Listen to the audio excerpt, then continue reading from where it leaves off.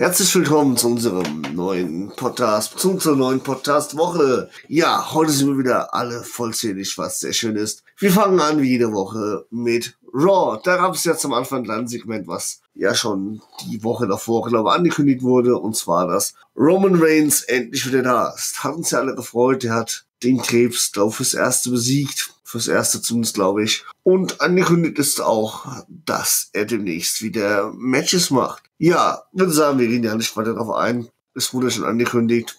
Sollte sich da mehr tun, dass er mehr Match, Matches macht, werden wir näher drauf eingehen. Wir starten deshalb mit dem ersten Match vor der Abend. Es war ein Non-Title Tag Team Match zwischen Alistair Black und Ricochet gegen The Revival, also Scott Dawson und der Schweiler, die aktuell Champions sind. Es ging sieben Minuten und Alistair Black Ricochet gewann dieses Match nach Pin von Alistair Black an Dawson nach der Black Mass. Ja, wie ich fand, ein sehr schönes Match. Ricochet ist dann klasse Kämpfer, genau wie Alistair Black.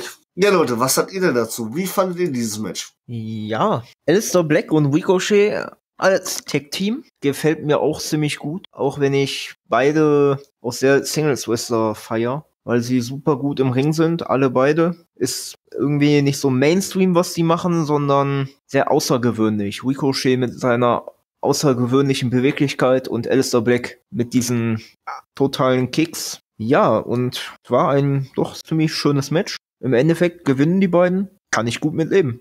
Äh, ja, es war zwar ein schönes Match und ich war auch echt begeistert, dass die jetzt wirklich so oft eingesetzt werden. Allerdings finde ich, dass Ricochet so ein bisschen untergegangen ist bei Alistair, äh, mit Alistair Black zusammen. Weil klar, er hat zwar seine Moves gezeigt, aber er hat, glaube ich, ja schon zum dritten Mal oder so sein Finisher nicht gezeigt bei Raw oder SmackDown. Also irgendwie geht er da so ein bisschen unter. Was ich dann auch noch ein bisschen schade finde, ist, dass man hier Revival sozusagen so schnell besiegen lässt. Aber an sich war es ein schönes Match und ja. Ja, ich fand es auch ein gutes Match. Wie gesagt, es hätte länger gehen können. Finde es auch schade, dass Ricochet nicht so viel zeigen durfte. Aber dieser Black Mess am Ende, der war mir wieder vom Feinsten. Und dieses Selling hinterher. Ja, ohne Worte. Also der hat richtig gesessen. Ja gut, ist glaube ich alles gesagt. Das Match war richtig gut. Und was mir noch aufgefallen ist im Vergleich zu der Woche davor, ich kann mich erinnern, dass Malu kritisiert hat, dass gerade Alistair sehr langsam war. Fand ich tatsächlich diese Woche gar nicht. Also er hat schon auch an Geschwindigkeit zugelegt. Natürlich ist es immer noch nicht NXT-Niveau, Gottes Willen, das wissen wir auch. Aber es hat trotzdem echt Spaß gemacht zuzugucken. Ergebnis spricht für sich. Können wir gerne weitermachen. Michi, was ist eigentlich mit deinem Laptop los, dass du den nicht benutzt? Das mal so nebenbei. Warum? Was mir nur so aufgefallen, schon gut. Ja, stimmt. Das hatte ich ja letzte Woche kritisiert, dass er bei One SmackDown irgendwie relativ langsam war. Diese Woche hat mir Alistair Black sehr gut gefallen. Da hat er auf jeden Fall gezeigt, wie schnell er sein kann. Ja, und danach kam dann vor dem Match dann ein paar Sequenzen, da ja am Montag der Geburtstag von Ric Flair, dem Nature Boy, gefeiert wurde, kamen diverse Videosequenzen, wo mehrere äh, Wrestler ihre Glückwünsche ausgesprochen haben. Aber wir gehen zum nächsten Match. Wir bleiben bei den Tag Teams, gehen allerdings über zu den Frauen.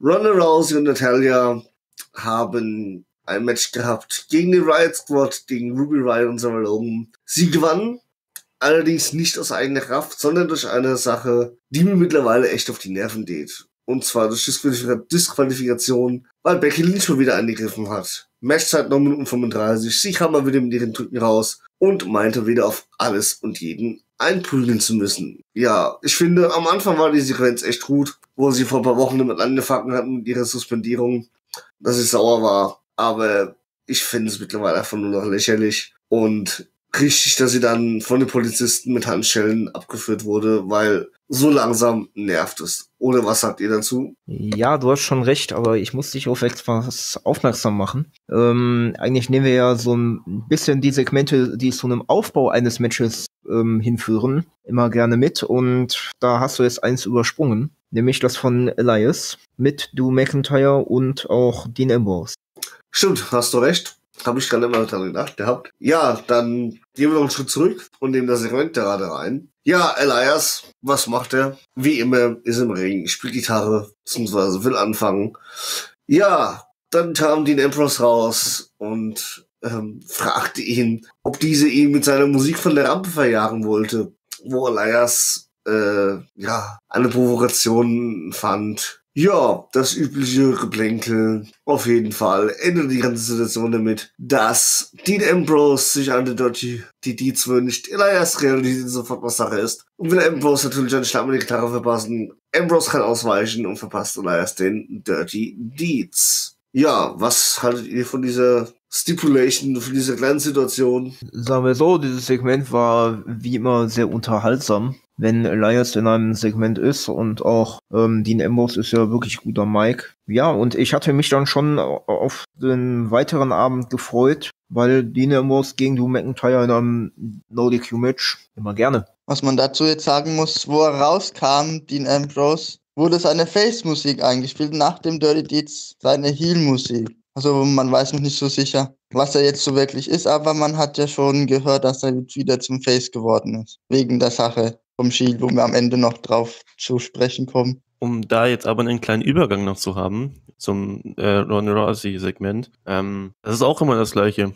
Elias kommt raus, spielt seine Musik, wird dauerhaft unterbrochen und am Ende endet es in einem Fight. Und ähm, finde ich irgendwie auf Dauer auch nervig. Deswegen fand ich ihn als Face zum Beispiel besser, weil da war das dann nicht mehr so. Ja, da bin ich tatsächlich bei dir, Luki, weil dieses ständige Wiederholen von Segmenten, wenn es zu nichts führt, geht mir tierisch auf den Keks. Klar, man hatte dann ein später folgendes gutes Match, alles prima. Aber wie du schon sagst, er sitzt da, er spielt, irgendwer funkt ihm dazwischen, es rappelt, fertig ist die Geschichte. Langsam wird es mal Zeit für was Neues. Entweder vielleicht stellt er ja seine Musik selber irgendwann mal in, Frage und fängt dann mal wieder an, ernsthaft zu wresteln. Ich will nicht seine Fähigkeiten in Frage stellen, aber das, was sie mit ihm machen, ist echt. Äh, bitte nicht schon wieder. Ja, kommen wir zu dem Segment weiter, wo Becky Lynch angegriffen hat. Nachdem sie abgeführt wurde, kam es ja noch ein bisschen, ging es noch ein bisschen weiter. Und zwar hat dann Ronda Rousey ähm, Natalia hochgehoben, hochgeholfen auf der Rampe und begab sich dann in den Ring und rief Vince McMahon raus. Ja, nur Vince kam aus, das weiß man nicht, das kam Stephanie. Was Ronda aber auch ganz gut gefallen hat, sie bat halt darum, oder sie forderte von Stephanie, die Suspendierung von Becky Lynch bitte wieder aufzuheben, wo Stephanie meinte, ja, ist gerade schlecht, ähm, sie wurde gerade erst vom Polizeiwagen abtransportiert. Ja, und stellte dann klar, dass ähm, es überhaupt, sowieso überhaupt nicht gehen würde, weil die Gegnerin von Ronda Rousey bei WrestleMania weiterhin Charlotte Flair hieß, heißt, ja, Ronda Rousey hat das gar nicht gepasst. Im Endeffekt war es dann so, dass sie ihren Titel niederlegte und damit forderte, dass sie äh, Becky Lynch als Gegnerin bekam. Ja, Leute, was sagt ihr zu diesem Segment, Match, wie man es kann? Waren ja Match und Segment. Ja, das Match am Anfang ging ja fast zehn Minuten, war gar nicht mal schlecht, paar schöne Moves drin. Dann hat Becky Lynch eingegriffen. Schon wieder, ich muss sagen, ich mag Becky Lynch. Ich finde den Charakter von ihr echt super. Aber wie das mittlerweile gebuckt wird, finde ich auch nicht mehr ganz so gut. Also, weil da immer das Gleiche kommt. Ansonsten war es gut und dann, ja, die kleine Promo von Wanda Rousey und Stephanie McMahon fand ich äh, ziemlich gut. War, war was Neues, womit ich gerade nicht gerechnet hätte.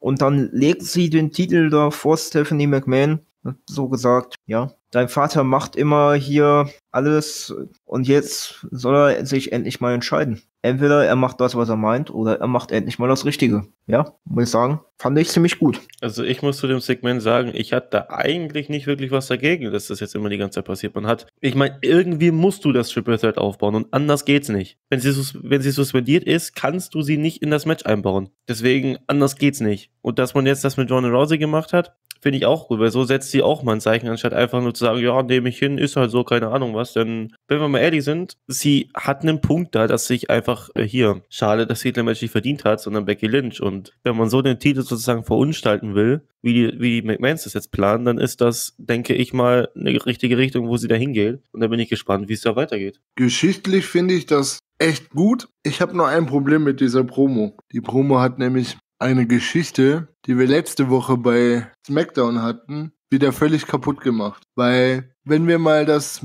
Segment von letzter Woche nehmen, The Miz und Shane, wo Miz sagt, mal, du bist ein McMahon, du, wenn einer ein Match ansetzen kann, dann du. Ja? Da funktioniert das, aber eine Stephanie kann das nicht. Finde ich ein bisschen fragwürdig, die ganze Geschichte. Ja, da musst du aber auch dran denken, dass das mit Shane McMahon eine ganz andere Geschichte war, weil hier hat Vince McMahon das angeordnet und ich glaube nicht, dass eine Stephanie über ihrem Vater stehen möchte. Nein, aber wer außer seine eigene Tochter könnte ihn vom Gegenteil überzeugen? Niemand, weil Vince McMahon seinen eigenen Kopf hat. Ja, aber genau das, genau da habe ich das Problem. Bei seinem Sohn soll das gehen und bei seiner Tochter nicht. Weiß nicht. An sich, Weil, weil Vince das Match, weil Vince ja nicht irgendwie was so dem hier Tag Team Match dazu beigetragen hat. Der war da gar nicht involviert, aber in dem Women's Championship Match ist er eben involviert und da hat er dann hier Becky suspendiert. ja, weiß, ich verstehe deinen Punkt, aber ich kann doch nicht in der einen Geschichte sagen, hier, du bist ein McMahon, wenn das jemand kann, dann du.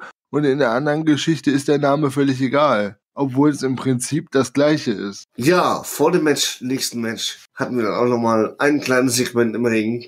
Und zwar befindet sich nun Jinder Mahal mit seinen, den beiden seinen Brüdern im Ring und wundert sich darüber, dass Ric Flair heute gefeiert wird. Er fragt sich, was Ric Flair in seiner Karriere überhaupt erreicht hat. Dann hat er sich aber scheinbar sehr schlecht informiert, wie ich finde.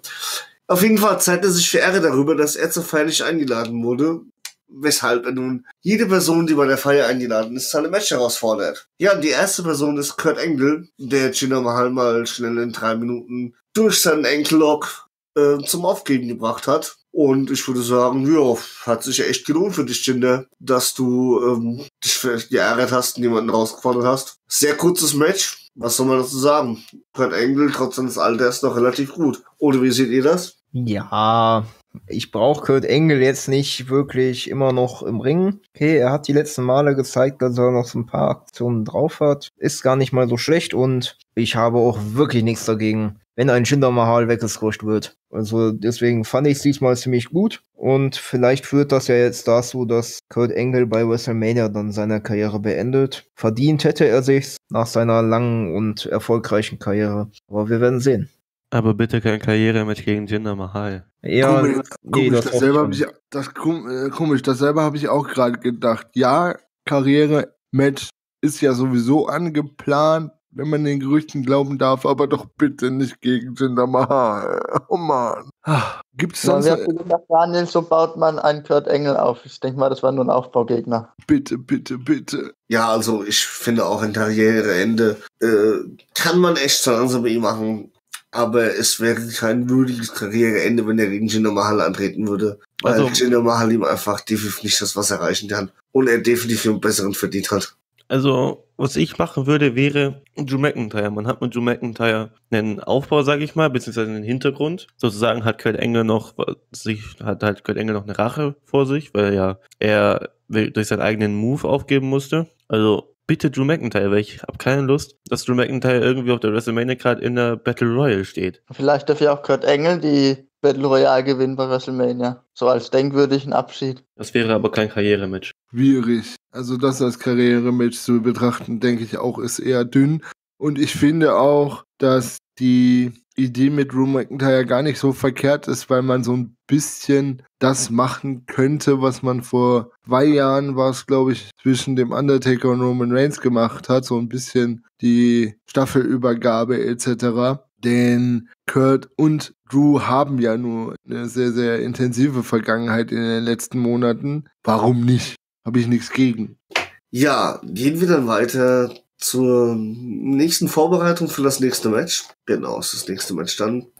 Und zwar sind wir angekommen bei A Moment of Bliss. Ja, Alexa Bliss verabschiedet Ronda Rousey dann von der Bühne und gibt ihr doch mit, dass sie doch bitte auf dem roten Teppich, den die WWE ihr ausgelegt hat, doch bitte auf dem Weg nach draußen stolpern soll, was sie ziemlich ironisch meinte, bevor sie dann ihren Gast äh, begrüßt, und zwar Finn Balor. Ja, sie ihn zum Sieg über Lashley und Leo Rush, hat aber nur ein Problem damit, dass er Intercontinental Champion ist. Und so meinte sie, dass der Titelgürtel seine Bauchmuskeln verdecken würde. Worauf Balor Bliss fragte, ob sie ihn denn in Verlegenheit bringen wolle, worauf Alexa antwortete, wenn er den Gürtel abnehmen würde, würde sie, also wenn er seine Bauchmuskeln ihr zeigen würde, würde sie ihm etwas anderes zeigen. An dieser Stelle wurde aber durch Leo Wasch unterbrochen. Der meinte, dass Baylor es gar nicht verdient hätte, Champion zu sein und dadurch diese Talkshow ein reiner Schwindel sei. Woraufhin Baylor meinte, dass er gar kein Problem damit hätte, noch einmal gegen Bobby Lashley anzutreten, worauf Rush immer eröffnete, dass Lashley sich gerade auf das Match Braun Strowman vorbereitet, aber er deshalb herausgekommen sei, um Baylor den Titel abzunehmen, um zu beweisen, dass er besser als Bobby Lashley wäre. Ja, im Endeffekt geht es dann so weit, dass die beiden dann ein Titelmatch bekommen um den Titel von Finn Balor. 7 Minuten 32 Matchcard. Finn Balor gewann durch Pin, versucht durch Pin nach dem Coup de Ja, sehr interessantes Match. Schön, dass Finn Balor wieder mal gewonnen hat, seinen Titel verteidigt hat. Wäre auch etwas lächerlich gewesen, wenn er gegen Leo Rush verloren hätte, würde ich sagen. Aber ja, was haltet ihr von dieser ganzen Geschichte? Also, das äh, Moment of Bliss mit Finn Balor und Alexa Bliss fand ich sehr unterhaltsam. Wo Leo Rush dazu kam, war dann eine gute Promo, ein gutes Segment, auf jeden Fall. Und dann das Match fand ich äh, ziemlich stark. Fand ich ziemlich stark. Okay, es war mir klar, dass Finn Balor das gewinnt. Hat er dann auch getan. Aber ähm, warum nicht? Das war äh, schon wieder ein Match bei dieser War-Ausgabe, was ziemlich stark war. Äh, also auch ich fand hier A Moment of Bliss ziemlich stark vom Segment her. Man hatte, denke ich, richtig guten Unterhaltungswert. Und was ich aber geil fand an dem Ganzen war am Ende die Reaktion von Corey Graves. Der reagiert ja immer ziemlich geil und das ist einfach immer wieder pures Gold. Das muss man ihm schon lassen. Und zum Match noch. Ja, war ein starkes Match und hat endlich mal Leo Rush auch zeigen können, dass er wirklich was im Ring kann und nicht nur irgendwie da war, um ihn als schwachen Gegner darzustellen und sonst was. Deswegen bin ich eigentlich zufrieden, dass er ein bisschen was zeigen durfte. Finn Balor als richtigen Sieger dann rausgegangen, finde ich gut so. Und jetzt hoffe ich auch, dass die ganze Bobby Lashley und die Rush-Geschichte langsam mal aufhört, denn für andere Gegner sehen. Ja, also ich fand das Segment auch richtig stark. Diese Reaktion dann am Ende, wo dann Finn Balor zum Ring gelaufen ist und dann der Kommentar kam, Alexa kommt zurück, er legt den Titel ab, war schon Hammer. Da hat Daniel auch so ein bisschen gelacht bei. Und zu dem Match, ja, nicht. Äh, Leo Rush durfte ein bisschen mehr zeigen wie in der Vergangenheit, wie in den zwei Matches zuvor. Fand ich gut. Finn Balor als richtiger Sieger. Würde man sagen, jetzt kann der Aufbau des Teams beginnen. Ja, ähm, ganz kurz. Ich war ein bisschen gerade, entschuldigt. Match war absolut okay. Das Problem, was ich habe, ist, ja, Leo durfte ein bisschen mehr zeigen, aber es ist nichts wert, weil wir haben ja letzte Woche darüber gesprochen, dass ähm, gerüchtet wird, dass er wer Backstage, äh, Backstage Heat kriegt und ich habe gesagt, dass das wohl von den Wrestlern ist. Stimmt aber so nicht ganz, weil das ist tatsächlich auch von den Offiziellen und ja, die haben dezent alle keinen Bock auf den im Moment und von daher werden alle Matches im besten Fall so ablaufen, wie sie da gezeigt wurden. Das heißt, er kann kann ein bisschen was zeigen und es führt trotzdem zu nichts. Ja, weiter ging es dann allerdings nicht mit einem richtigen Match, sondern mit ein paar Backstage-Szenen. Los ging es mit Connor und Victor, der Ascension, die den Duden Tucker fragten, wo denn Otis steckt und vermuteten, dass dieser im Müller Cheeseburger wüte, wühle, ähm, weil sie finden, dass Otis ein Schwein wäre, das keinen Hals besitzt. Woraufhin Tucker sie warnte, meinte sich ihre Worte genau überlegen sollten.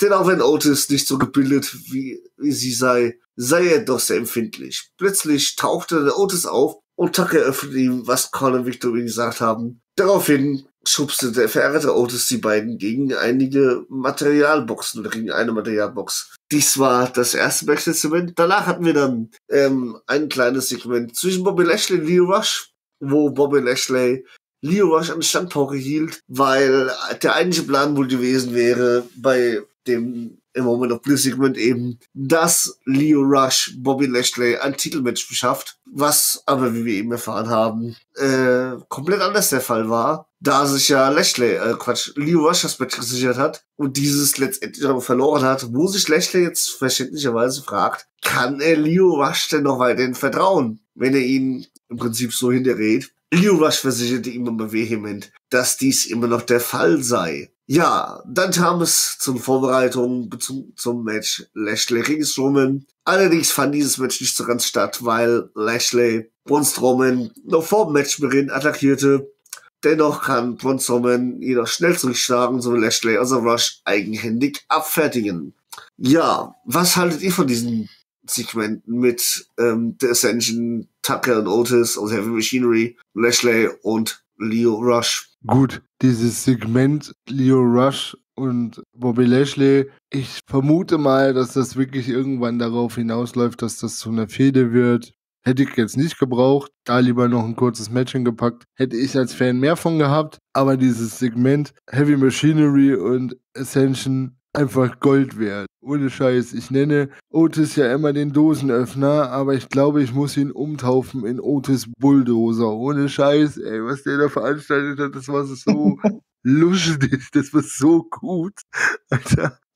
Weil das Problem ist, dadurch, dass der so klein und dick ist, hat er auch so eine ganz hohe Stimme. Und wenn der sich dann voll aufregt, ich bin ja schon alt, der erinnert mich voll an das HB-Männchen. Ich weiß, die, ihr werdet das alle nicht mehr kennen, zumal ihr wahrscheinlich alle nicht raucht, aber das war ja auch so, das ist ja auch ständig rot angelaufen und hat dann eigentlich so hat sich nur noch aufgeregt. Alles, das war so lustig. Bitte mehr davon, ohne Witz. Ja, ich fand das kleine Backstage-Segment von Heavy Machinery und Ascension auch ziemlich lustig. Und ja, Leo Rush und Bobby Lashley. Ja, das brauchte ich jetzt nicht so wirklich. Naja. Ja, danach kamen wir dann nochmal zu einem kleinen Interview. Und zwar Charlie Caruso und David Seth Rollins ähm, darüber, ja, hat sie, hat ihn kurz interviewt und Rollins sprach darüber, dass sich bei WrestleMania den Titel von Braun Strowman sichern, äh, sorry, Brock Lesnar sichern würde, was mich sehr freuen würde. Darüber hinaus freute sich sehr, dass sein guter Kumpel Roman Reigns endlich zurück ist und er zum Feiern bereit ist. Reigns habe, hat bestimmt, genau, Reigns habe bestimmt an die kalte gelagert, gelagert, so dass es nun an der Zeit für einen kleinen Umdruck sei. Ja, aber vor dem Umtrunk hat natürlich Dean Ambrose noch ein Match. Und zwar gab es dann ein New Qualification Match zwischen Drew McIntyre und Dean Ambrose, welches Drew McIntyre nach einem Pin an Dean Ambrose mit dem Claymore Kick gewinnt. 9 Minuten 16. Und kurz vor dem Finish hatte Elias Ambrose einen Schlag mit seiner Gitarre verpasst. Ja, nach dem Match kommen dann Baron Torben und Bobby Lashley zum Ring. Gemeinsam prügeln die vier Heels auf Ambrose ein. Diese wird jedoch von seinen ehemaligen Skitollegen Seth Rollins und Roman Reigns gerettet. Die beiden kamen schon bewaffnet zu Hilfe. Nachdem die Heels mit ihren Finishern abgefertigt wurden, gingen den grinsen sich Vince Rollins an und breben sich wieder auf die Rampe. Währenddessen richtete sich Ambrose vielleicht auf, grinst nach einigen Blickkontakten mit Reigns und Romans ebenfalls. Ja, sehr interessant. Erster kleiner Matchauftritt sozusagen von Roman Reigns. Wir sind, ich bin gespannt. Sie helfen den Ambrose, kann es sein, dass die WWE wieder eine Shield Reunion plant? Die x-te? Wenn ja, hoffen wir, dass sie besser wird. Ich bin echt gespannt. Fände ich interess interessant, nochmal eine Shield Reunion. Aber dann bitte, WWE, macht sie gescheit. Also ich muss zum Segment erstmal sagen, also das Match an sich war jetzt, finde ich, ziemlich gut. War vielleicht ein bisschen vorhersehbar, dass dann am Ende welche rauskommen. Ich habe aber ehrlich gesagt damit gerechnet, dass eher Roman Reigns und Seth Rollins hier den Ambrose zum Sieg verhelfen und nicht andersrum. So war es halt dann andersrum und am Ende kamen dann Roman Reigns und Seth Rollins raus, was ich auch relativ gut fand. So hat man Roman Reigns nochmal ein bisschen Zeit gegeben, um auch zu zeigen, dass er wirklich wieder halbwegs fit ist, würde ich sagen. Und die Crowd war auch ziemlich da, muss man schon sagen. Also der ist momentan echt over. Und ich habe schon im Kopf das Bild, wie Vince McMahon hinten im Backstage-Bereich sitzt und sich seine Hände reibt und, und sich denkt, jetzt ist er endlich mal over. Wegen der Shield Reunion bin ich gespannt, will ich nicht sagen, bin ein bisschen zwiegespalten, muss ich sagen. Einerseits, wenn sie es vielleicht gut umsetzen und das vielleicht so der letzte Auftritt von Dean Ambrose ist, okay, aber brauchen tue ich es ehrlich gesagt. Ja, ich muss es auch so sagen, ich fand das Match gut. Dann, dass Elias da eingegriffen hat, ja, hat man ja, vom, ja vorher schon in der Show ein bisschen aufgebaut, nachdem Elias den Dirty Deeds von Dean Ambrose kassiert hat. So fand ich das dann ziemlich gut gemacht. Ja, dann, dass der Shield dann kam, also, ja, was heißt Shield, ähm, wo Wentz und Seth Rollins kamen, um Dean Ambrose zu retten, dann wieder gegangen sind, okay, ja, muss ich sagen, ich brauche ein Shield Comeback nicht. Eine Reunion von denen brauche ich einfach nicht. Nicht schon wieder. Aber vielleicht ein letztes Mal, um dann Dean Ambrose von der WWE zu verabschieden, wenn er wirklich gehen sollte. Ansonsten brauche ich das nicht. Ja, also ich fand das Match auch ganz gut. Sehe aber den Grund für die Niederlage eher darin, dass er ja von der Storyline technisch er selbst gesagt hat, dass er ein paar Matches verlieren will, um dann zu verschwinden und irgendwann wiederzukommen, damit es ein halb bisschen größer wird, wenn er wiederkommt, damit man denkt, er ist von der WWE verschwunden. Eine Shield Reunion, ja, weiß ich auch nicht, was ich davon halten soll. Gab schon zweimal, das letzte Mal haben sie sie verkackt. Ob ich sie nochmal sehen würde, weiß ich jetzt noch nicht so wirklich. Wenn sie wieder was draus machen wie beim ersten Mal, gut, dann kann ich sie mir anschauen, aber ansonsten bitte nicht. Ja, ich sehe das auch alles ein bisschen zwiegespalten. Das ganze Match und was drumherum war, war okay. Also das Match war gut und, und auch das drumherum fand ich okay, weil irgendwie musste und wollte man natürlich für den Publikumshype nochmal eben Roman Reigns einbauen. Deswegen kam er dann raus. Alles prima, kann ich mit leben. Aber das jetzt tatsächlich geplant sein könnte, nochmal viel zu bringen. Ich weiß es wirklich nicht, was ich davon halten soll, weil auf der einen Seite, vielleicht geht uns der Shield auch nur gerade so auf den Sack, weil sie es beim letzten Mal so verkackt haben. Also wenn sie es jetzt besser hinkriegen, vielleicht finden wir es ja gar nicht mehr so blöd. Auf der anderen Seite, schon wieder, ich weiß auch nicht, was ich davon halten soll, keine Ahnung. Ja, vielleicht ist es ja wirklich so, wenn sie es dieses Mal besser hinbekommen, dass wir uns dann drauf freuen. Aber wir haben keine Wahl. Wenn die WWE meint, sie müsste Shield zurückbringen, vielleicht wieder scheiße, dann müssen wir mit leben und wir werden es uns definitiv ansehen. Ja, wir kommen auch schon zum letzten Raw Match heute Abend.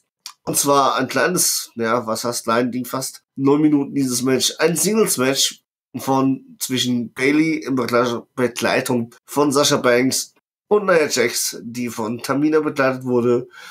Ja, Bailey gewann per Pin nach dem Diving Elbow Drop gegen Nia Jax. Ja, ich sag mal, eine relativ zierliche Bailey gegen Nia Jax, die wirklich groß und stämmig ist und nicht schlecht. Knapp neun Minuten Matchzeit. Ich freue mich, dass Bailey gewonnen hat. Und liegt auch daran, dass ich Nia Jax und Tamina absolut nicht mag. Die sind einfach so, na, so halt wie sie sind. Aber an sich war es ein relativ schönes Match, also muss man schon sagen. Bailey ist echt eine klasse Kämpferin, wie ich finde.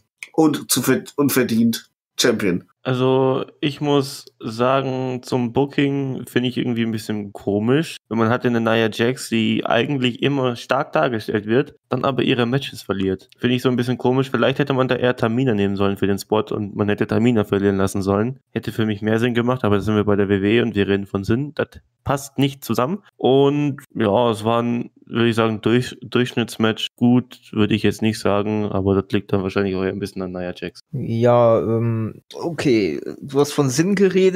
Da können wir bei der WWE wirklich nicht viel von reden, von Sinn. Aber bin ich ehrlich, ich freue mich, dass Nia Jackson Matches verliert. Ich freue mich wirklich drüber. Ich kann sie einfach überhaupt nicht ab. Ich habe sie noch nie gemocht, nicht mal zu ihrer NXT-Zeit und freue mich immer, wenn sie irgendein Match verliert und dann so ein bisschen weiter abrutscht. Genauso wie Termina, den mag ich auch nicht. Naja, Nia Jax konnte so wahrscheinlich ein besseres Match aufbauen mit Bailey, als es Tamina gekonnt hätte. Deswegen kann ich mir vorstellen, dass man deswegen Nia genommen hat. Aber ansonsten ja, war in Ordnung. Was ich zu kritisieren habe tatsächlich ist, ich weiß nicht, ob das an dem Unfall gegen Ronda Rousey liegt, also diese, diese Facebreak-Nummer, aber mir ist das spontan aufgefallen, beziehungsweise sehr intensiv aufgefallen, als die Kamera sehr nah dran war und man gesehen hat, dass Naya Kicks verteilt hat. Das waren keine Kicks. Also mein Neffe tritt so tote Ratten beiseite, um zu gucken, ob die noch leben. So mal anstupsen, weißt du? Das ist ach, gruselig. Ich habe das echt kritisiert an ihr. Ich weiß aber inzwischen, wo ich so ein bisschen drüber nachgedacht habe, echt nicht, ob das daran liegt, dass sie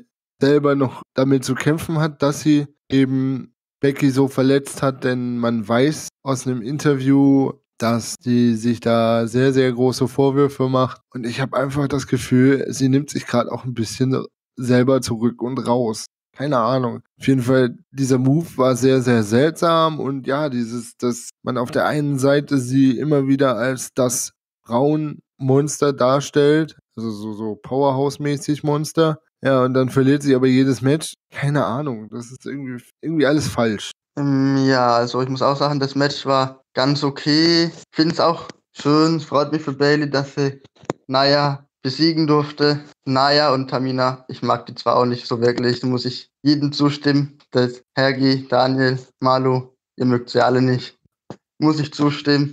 Wie man ja wissen, verteidigen sie ihren Ti müssen sie bei Fasten ihr Titel gegen Naya und Tamina verteidigen. Und ich hoffe, dass auch diesmal erfolgreich sein werden und den Titel verteidigen. Ja, genau das hoffe ich natürlich auch, dass die beiden ihren Titel wieder mal verteidigen, weil ich glaube, da sind wir uns alle einig. Wäre es jemand anders, der den sie antreten, würden, könnten sie den Titel ruhig verlieren, aber bitte nicht gegen Nia und Tamina.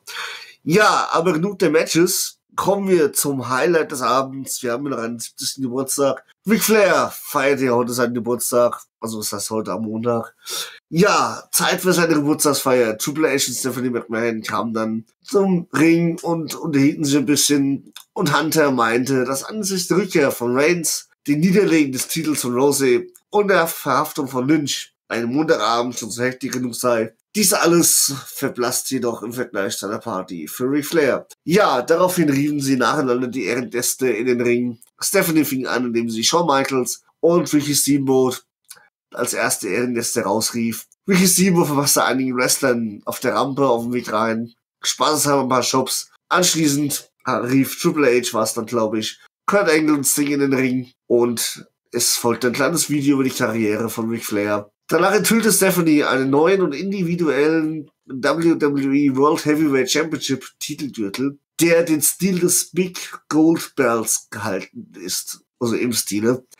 Ja, danach sollte natürlich auch der Ehrendust, der Ehrendust der Ehrengäste rauskommen. Ric Flair. Triple H kündigte ihn an, sogar mehrere Male. Stephanie versucht es auch nochmal, aber Ric Flair kam einfach nicht. Ihr dachte sich, hm, was ist denn jetzt los? Auf einmal wurde in den Backstage-Bereich geschaltet, wo wir nur sahen, wie ein großer, stämmiger Mann, ein Kameramann, der sich herzieht. In einer kurzen Zeit sah man, dass es Batista ist, der den Kameramann zum Umkleideraum von Ric Flair geschleift hatte und den Umkleideraum stürmte. Ja, nach einem kurzen Aufruhr, den man natürlich nicht sah, weil die Tür zu war, zerrte Batista Ric Flair heraus. Batista blickte in die Kamera und fragte, ob er endliche Aufmerksamkeit von Hunter habe, die er verdient. Diese sprintete danach sofort im Backstage-Bereich, wo kurz darauf eine Bodenlinie Flair findet, der bereits von den Offiziellen untersucht wurde. Während Hunter nach einem Arzt ruft, geht die Show off air. Ja, interessantes Ende der Raw Show. Find's interessant, dass Batista versucht, so Aufmerksamkeit zu erlangen, indem er einen, ich sag's mal, alten, schwachen Mann verprügeln muss. Ist Batista mittlerweile so tief gesunken, dass er nur noch so Aufmerksamkeit bekommen hat? Wenn ja, finde ich es sehr schade, weil Batista ist eigentlich einer, den ich schon, schon sehr lange kenne als Wrestler und eigentlich immer relativ geschätzt hatte, weil er echt interessant ist von seinem Aussehen, von seinem Moveset mit seiner schönen Batista-Bomb. Aber wenn er mittlerweile so tief gesunken ist, dann hm, fragt man sich echt, ob er wirklich noch ähm, wieder dabei sein sollte oder ob er nicht auch in den Ruhestand gehen sollte. Ja, Leute, was habt ihr dazu? Wie fandet ihr das Ganze? Ja, um ehrlich zu sein, ich muss am Anfang direkt was kritisieren. Da muss ich die WWE direkt kritisieren. Sie hatten gesagt, es gibt Ehrengäste, okay, damit komme ich klar. Ehrengäste waren klar. Aber dass man diese Ehrengäste schon während der ganzen Warshow so ein bisschen gezeigt hat, so dass am Ende wirklich keine Überraschung war, wer diese Ehrengäste sind. Denn wir hatten den großen Rivalen von Ric Flair, Ricky the Dragon Steamboat. Wir hatten Kurt Angle, okay, der war schon zu sehen, ist ja ähm, nicht das Problem. Aber vor allen Dingen, wir hatten Sting. Hätte man den nicht am Ende einfach total als Überraschung äh, da rauskommen lassen können, das wäre doch viel geiler gewesen. Aber ähm, nee, das fand ich dann nicht so gut und Sache, ich war ziemlich überrascht dann, dass Batista auf einmal Ric, Flair da attackiert hatte, um so zur Aufmerksamkeit von Triple H zu erlangen. Okay, ich habe schon oft gelesen, dass es dieses Match wohl geben könnte, aber ich habe nicht mehr dran geglaubt, da ich bisher auch immer gelesen habe, dass dieses Match wohl nicht zustande kommt, weil Triple H noch nicht wieder hundertprozentig fit ist. Und so war ich jetzt ziemlich überrascht, aber ich muss sagen, Batista hat mir als Ziel immer am besten gefallen. Und so kriegt er jetzt natürlich übelsten Heat up, wenn er eine so große Legende zusammenschlägt. Ach naja, das, das wird Ric Flair auch nicht umbringen, diese paar Schläge. Also ich sehe da nichts Falsches dran. Ja, wir haben ja im Discord währenddessen schon diskutiert. Um, und entschuldigt, der Evo hatte das ja auch kritisiert, weil er sagt, warum greift ein Schüler in Anführungsstrichen seinen äh, langjährigen Lehrmeister an und äh, das macht alles überhaupt keinen Sinn. Daraufhin habe ich dann gesagt, doch, macht es, wenn man das letzte Segment zwischen den dreien mitnimmt, wo ein Ric Flair sich dazwischen stellt und sich gefühlt dann doch mehr auf die Seite von Triple H stellt. Und ich muss auch sagen, ich bin anderer Meinung als sowohl Hergi als auch unseren äh, Malu, weil erstens das hat nichts mit tief sinken zu tun, das hat einfach was damit zu tun, dass es darum ging, äh, die Show von Triple H kaputt zu machen. Es ging, glaube ich, weniger darum, sich einem alten, schwächlichen Mann vergreifen, sondern du hast dieses Segment, was ganz groß aufgebaut wird und dann schießt du einfach dazwischen und als Organ Organisator des Ganzen stehst du natürlich dann als der Dumme da. Warum ist das so? Warum hat da keiner besser aufgepasst? Also war das schon ganz gut platziert. Und das zweite ist, warum soll die WWE auf den Hype verzichten, indem sie das immer wieder antießt, dass die Leute da sind. Also, ähm, ich verstehe. Also ich bin da ganz anderer Meinung, auch was das, was das mit den Überraschungen angeht, weil wir sind A nicht beim Rumble, wo wir immer Überraschungsentries haben sollten. Das war eine fucking normale Show und hey, andererseits muss man auch mal sagen, warum sollen die Leute, also die Special Guests, nicht auch noch mal ein bisschen Aufmerksamkeit selber kriegen? Ich fand das jetzt so, äh, gar nicht so verkehrt. Ich finde einfach so, wäre der Pop viel größer gewesen, wenn man einen Sting so als Überraschung am Ende rauskommen lassen hätte. Da wären alle total ausgeflippt und ich hätte und ich finde auch, so hätte Sting dann ein größeres Spotlight noch gehabt, als wie es so gewesen ist. Ja, das hattest du aber in dieser Folge auch schon ziemlich auch schon mal gehabt mit Roman Reigns. Hättest du den auch nicht angekündigt, hätte der auch einen viel größeren Pop bekommen. Genau, halt, deswegen ja. Halt aber genau die WWE, die halt ihre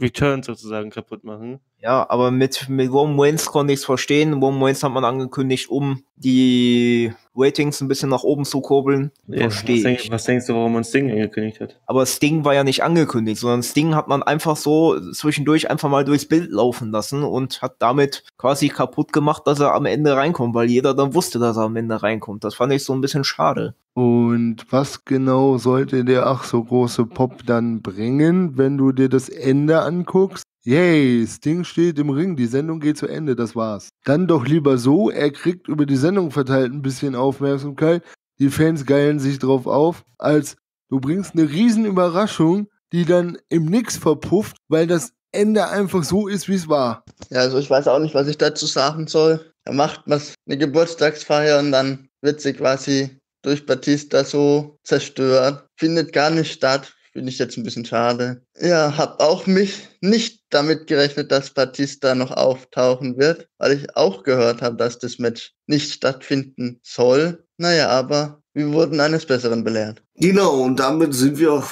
beim Ende von Raw angekommen. Gehen wir weiter zu SmackDown. Und SmackDown begann diese Woche mit einem kleinen Nicht-Kampfsegment im Ring. Und zwar ging es darum, dass Daniel Bryan unter Aufsicht von Stephanie und Shane McMahon einen Vertrag unterzeichnen sollte für das Match gegen Kofi Kingston bei Fastlane. Daniel Bryan war natürlich alleine da, wie letzter immer in Bekleidung von Eric Rowan. Ja, er war bereit zu schreiben, hat aber schon unterschrieben. Dann kam The New Day raus, um Kofi Kingston zum Ring zu begleiten. Ja, kurze Zeit später, bevor überhaupt noch irgendwas geschehen konnte, dass Kofi unterschreiben konnte, kam jemand raus, jemand Neues, Altes sozusagen, weil Roman Reigns war nicht der einzige Wiederkehrer für heute, für diese Woche. Denn es kam raus äh, Kevin Owens, der kurz vorher von Mr. McMahon angekündigt wurde, mehr oder weniger. Ja, im Endeffekt war es dann so, dass Kevin Owens den Vertrag unterschrieben hat und sich New Day natürlich erstmal extrem aufgeregt haben, weil sie echt meinten, dass Kofi Kingston es mehr verdient hätte als Kevin Owens. Nach der Werbeunterbrechung waren wir dann Backstage zwischen Kevin Owens und Shane und Stephanie, die sich fragen, wie lange der Einsatz bereits geplant war. Also Shane und Stephanie wussten schon nichts davon, von den Machenschaften ihres Vaters bezüglich Kevin Owens. Ja, Owens, der Mitgefühl gegenüber Kofi zeigte, bitte die beiden um ein Tag Team Match an Tofis Seite gegen Daniel Bryan Eric Rowan. Die beiden, also Shane und Stephanie, gaben dann später bekannt, oder Gaben bekannt, ihn später über ihre Entscheidung darüber zu unterrichten. Ja, kommen wir dann zum ersten Match heute Abend. Ähm, es wurde nicht erklärt, wieso das, also eigentlich mal angekündigt, dass ähm, Cesaro gegen Johnny Gargano antreten sollte. Dieses Match wurde bestrichen, wir wissen leider nicht wieso, es wurde nicht genannt. Stattdessen gab es ein Tag Team Match, über das ich mich sehr gefreut habe, weil das eine Tag Team war The Bar, James Cesaro, kennt man ja schon oft genug gesehen in letzter Zeit wieder, oder auch nicht, aber man hat sich schon öfter gesehen, das andere Tag Team. Und zwar das andere Tag waren die Hardy Boys. Matt und Jeff Hardy. Ja, Jeff hat man ja sehr, sehr oft gesehen in letzter Zeit. Auch in den letzten Pay-Per-Views. Aber Matt war ja lange ausfallen wegen seiner Verletzung, wo es am Anfang echt hieß, er würde seine Karriere beenden. Aber ich fand, man hat ihm angesehen, dass er wieder gesund ist. Er hat bessere Moves, alles bessere Zeit als vor jeher. Seit langem. Ja, im Endeffekt haben die Hardy Boys gewonnen. Und zwar wir Pin von Jeff und Sheamus nach einem Twist of Fate von Matt und einer Swanton Bomb. Ja, es war das erste Match von Matt Hardy seit einigen Monaten. Und wie gesagt, ich finde die Hardy Boys eh extrem geil. Ich feiere die zwei sowieso. Sehr geiles Match, sehr geile Tag Team Action. Gerade von den, den Hardys, die sich echt mal wieder blind verstehen. Gut, was erwartet man von Brüdern anders? Aber genial. Ja, Jeff mal, mal wieder mit einer anderen Sicht zu malen, mal in Rot, mit roten Ärmeln an seinem Oberteil.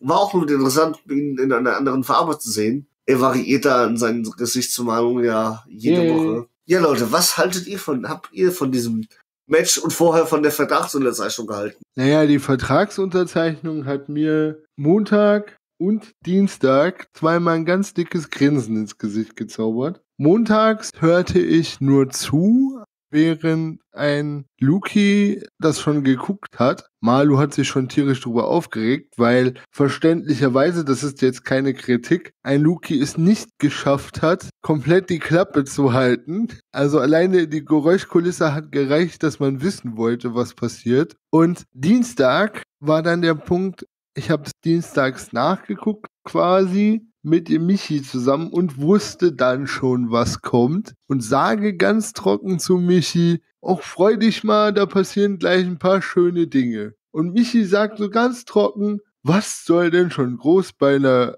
Vertragsunterzeichnung passieren? Bevor er wusste, dass Kevin Owens kommt. Ja gut, äh, Replacement mit Kofi ist, denke ich, einfach nur ein Aufbau, denn es wird ja immer noch darüber gesprochen, dass Kofi dann den Titel bei WrestleMania gewinnt. Hab ich nichts gegen.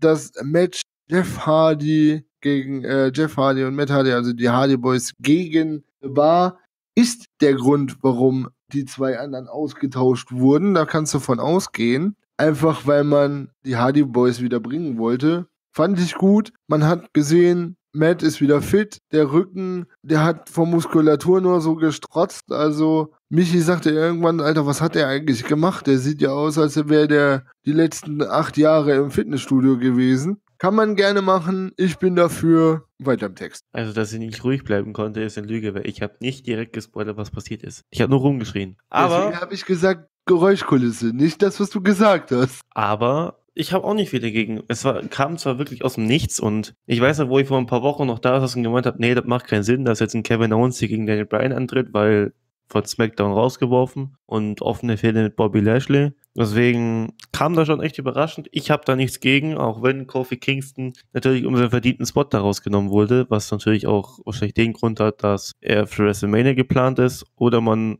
einen Heel-Turn plant ohne den Titel. Da muss man halt dann abwarten, was passiert. Ähm, und zum Match danach, dass die Hardy Boys da rausgekommen sind, das war auch ziemlich überraschend. Man hatte erst die Musik von Jeff Hardy gehört und man hatte so, okay, Cesaro gegen Jeff Hardy oder wie? Und dann war der Hardy noch mit dabei. Also das war schon echt überraschend, hat mich auch tierisch gefreut. Und dass man hier Jumper und Gargano rausgenommen hat, hat wohl den Grund, dass Jumper mit einer Nackenverletzung momentan so ein bisschen um sich rumtreibt und deswegen halt nicht antreten sollte aus Vorsichtsmaßen. Ach aber, ja, das Match stimmt. an, aber das Match an sich war ziemlich gut. Naja, Jumper sollte ja eigentlich gar nicht in diesem Match stehen.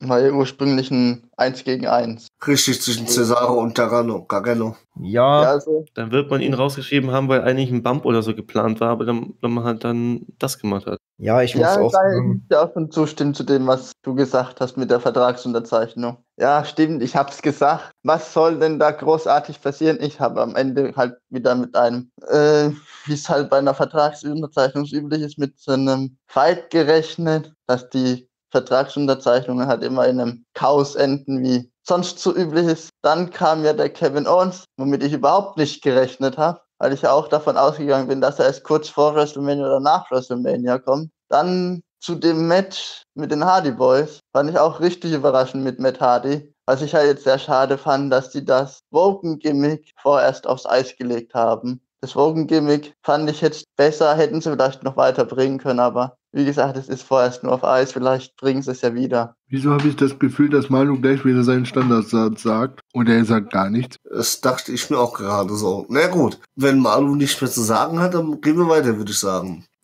Aber das Den- Match war richtig nice von den Hardy Boys. Ja, war definitiv ein geniales Match, geniales Comeback-Match der Hardy Boys. Mal schauen, wie es weitergeht, ob sie wieder öfters eingesetzt werden, was ich stark hoffe, weil, wie gesagt, ich liebe die beiden, die Hardy Boys. Ja, weiter geht es von einem kleinen Backstage-Segment zwischen, wir sehen Ricochet und Alistair Black, die sich das Match, das Tag Team Match angekündigt ha äh, angeschaut haben. Daraufhin kam Lana hinzu, sitzen die beiden herab, worauf sie angekündigt hatten, dass sie ihr Match heute im Laufe des Abends gewinnen. Ja, dann haben wir eine weitere Ankündigung für die Hall of Fame, und zwar wird der Honky Tonk Man 2019 in die Hall of Fame eingeführt und ist damit der zweite bekannte Name nach der DX. Ja, ich kann den bisher gar nicht, dafür kenne ich Wrestling zu schlecht, aber sie haben ein paar Videos gezeigt, also es ist eine Art Elvis-Verschnitt, also von der Aussehen und Frisur und Kleidung im Prinzip Elvis. Ja, wir kommen zum zweiten Match heute Abend. Und zwar ging es um den United States Championship von Arthur. Er kam wie gewohnt mit Tamela zum Ring und erklärte, dass er seit Kindertagen schon ein großes Vorbild Bild hat. Und dieses Vorbild ist John Cena. Er spricht daraufhin, wie John Cena es früher schon mal gemacht hatte, eine Open Challenge aus. Doch kurz bevor die Challenge beginnt, gab es einen kurzen Dance Break, wie man es ja von ihnen gewohnt sind. Ja, und zwar kamen dann Andrade und Selina Vega zum Ring, denn eigentlich dachte es, es sagt doch zumindest Andrade, dass ein One vs. One gibt zwischen Andrade und R-Truth. Aber äh, sie wurden auf dem Weg zum Ring ähm, überrascht und unterbrochen von dem guten Rey Mysterio, der ebenfalls den United States Titel haben möchte. Ja, Arthur fragt sich, was sein Held John Cena wohl tun würde in dieser Situation und nimmt in Cena-Manier die Herausforderung beide an. Daraus wurde also ein Triple Threat Match zwischen Arthur, Antrande und Rey Mysterio. Ja, wenn es dann Antrande durch einen Pin na, an Rey Mysterio durch einen Roll-Up gewann. Ja, vor dem Roll-Up wollte Rey Mysterio einen 6 von 9 gegen beide Kontrahenten zeigen, traf allerdings leider nur Andrade. Also, dazu muss ich sagen, ein hammerreiles Match. Man hat ja schon das Öfteren eine Fehde so ein bisschen zwischen Ray und Andrade gesehen, weil Andrade ja, glaube Ray so ein bisschen sich als Vorbild genommen hat. Ein sehr geiles Match, sehr geile Moves. Ähm, man hat echt gemerkt, dass R-Truth ähm, John Cena als Vorbild genommen hat. Er hat zum Beispiel den Five Knuckle Shuffle gezeigt von John Cena und wollte gegen Andrade noch einen Attitude Adjustment zeigen, der leider nicht durchgegangen ist, wie ich finde. Sonst wäre es natürlich noch genialer gewesen. Aber dennoch ein sehr geiles Match. Hätte auch alles sein können, dass Ray gewinnt, aber R-Truth hat den Titel behalten. Ja, nach dem Match gab es dann eine kleine Keilerei zwischen Ray und Andrade. In diesem Zuge wollte Ray noch einen 6 von 1 gegen Andrade zeigen, doch Andrade konnte sich noch rechtzeitig in Sicherheit bringen. Ja, Leute, wie fandet ihr dieses Match? Also ich fand das Match ziemlich stark. Gerade bei Rey Mysterio und Andrade wissen wir, was sie im Ring können. Und ja, verspricht für mehr, würde ich sagen. Dass hier R-Truth den Titel verteidigt hat, finde ich sogar ziemlich gut. Dass man ihm jetzt endlich mal einen gewissen Spotlight gibt, auch wenn ich dachte, vielleicht durch das Triple Threat Match verliert er den Titel. Und ich saß auch, wo ich das live geguckt habe, da und dachte mir, als Andrade rausgekommen ist, ja, dass er den Titel gewinnt. Ähm, Beziehungsweise, wenn sie es richtig machen, gewinnt er den Titel jetzt. Aber dann kam Ray raus. Auf jeden Fall würde ich sagen, gut gelöst und bin gespannt, wie es da weitergeht. Ganz kurz, bevor ich zu dem Segment was sage. Also aus den letzten 40 Sekunden Hergi-Text kann man jetzt einen Zungenbrecher machen. Sei mir nicht böse, du weißt, wie ich das meine. Alles Der- gut. Der Gute heißt Andrade. ja, Artus endlich wieder im Rampenlicht. Der Mann ist über 40 und reißt immer noch genauso ab wie die jungen Hüpfer. Und inzwischen finde ich sein Gimmick auch so gut. Er ging mir echt auf den Sack. Dieses total verplante an ihm ging mir echt auf den Sack. Aber ich weiß nicht, vielleicht hat ihm wieder erwartend der Zusammenschluss mit Carmella einfach gut getan, weil die zwei funktionieren einfach super zusammen und ja, mein Gott, er hat Titel verteidigt und das in einem Mehrmann-Match. Warum nicht? Voll gut. Ja, also ich fand das Match auch richtig gut. Dann das Ende vom Match, wo Andrade auf Ray losgegangen ist. Ja, da sieht man noch, dass die doch noch ein bisschen was an der Fehde, dass die sich noch nicht so weg, dass sie sich immer noch nicht leiden können. Auch ein guter Aufbau finde ich jetzt für WrestleMania. Und bei WrestleMania denke ich mal, wird ja dann auch der Knackpunkt kommen, dass sie vielleicht sagen, ja, wir könnten vielleicht doch in ein Tag-Team gehen, so wie es mal spekuliert worden ist. Ja, wir werden sehen, was am Ende bei rauskommt. Ja, ich melde mich auch wieder zu Wort, da bin ich wieder. Ja, ich fand dieses Match auch ziemlich großartig eigentlich, wie den Rest von der Show davor auch. Also bisher kann ich bei SmackDown wirklich überhaupt nicht meckern. Ich finde es super bisher. Hallo? Ja, dann gehen wir weiter. Und zwar gab es da noch ein Segment mit einer Frau, die ich absolut auch nicht leiden kann. Ähm, sie sieht zwar etwas besser aus als Nia Jackson Tamina, aber wir nennen sie gerne liebevoll Miss Plastik. Und zwar geht es um die Tochter von Ric Flair, um Charlotte Flair. Ja, sie kam in den Ring und meinte, dass Vince McMahon alles richtig gemacht hat, indem er Kofi durch Kevin Owens ersetzt hat. Ja, sie fand es natürlich auch richtig gut, dass Ronda Rousey verhaftet wurde, weil sie ja durch diese ganze Suspendierung und Verhaftung das Titelmatch gegen Ronda Rousey hat. Und ja, das war's dann auch schon drauf von Charlotte Flair. Das nächste Match ist dann wieder mal ein Tag Team Match. Wir haben heute eigentlich irgendwie so nur Tag Team Matches, glaube ich, bei SmackDown gesehen, was aber gar nicht so schlimm ist, weil wir sehen zwei Leute, die wir bei Raw schon gesehen haben. Und zwar Ricochet und Alistair Black. Sie haben gekämpft gegen Shinsuke Nakamura und Joseph im Begleitung von Lana. Und sie gewannen wieder mal durch den Black Mass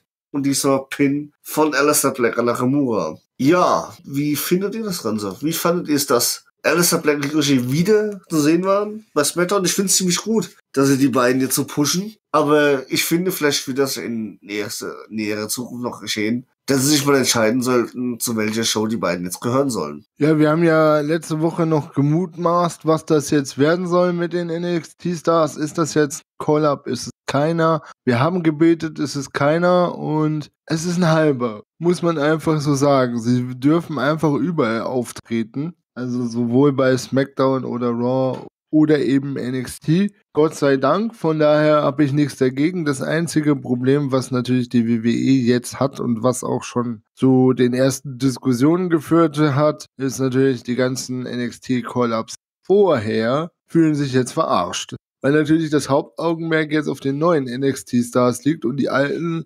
ja, wir sind halt da, wie alle anderen auch. Ist ein bisschen schwierig. Match Klar, man muss die neuen jetzt ein bisschen aufbauen und das funktioniert wunderbar mit Ricochet und auch mit Alistair Black. Beides einzeln Superstars und wie man jetzt gesehen hat, definitiv auch zusammen einfach super und es ist seit mehreren Wochen einfach so gut, dass der Black Mass wirklich so aus dem Nichts kommt. Also ich habe bestimmt auch bei NXT in den letzten Wochen nicht damit gerechnet, dass er an der Stelle kommt. Und ich glaube, das macht ein gutes Match aus, dass man einfach das Ende zwar schon erahnen kann, aber eben trotzdem Spaß am Match hat. Ja, also ich fand es auch ein richtig starkes Match. Ich finde auch, dass von der Schnelligkeit eines Alistair Black er bei SmackDown irgendwie anscheinend besser aufgehoben ist, weil er scheinbar da ein bisschen Spaß dran hat, mehr bei SmackDown zu sein. So schnell wie er bei SmackDown ist, war er bei Raw noch nicht so wirklich. Ja, am Ende kam wieder der Black Mass aus dem Nichts, kann man sagen, wo Nakamura gerade in Kinshasa zeigen wollte, der Black Mass aus dem Nichts. Jetzt gibt es nicht mehr den AKO aus dem Nichts, sondern den Black Mass.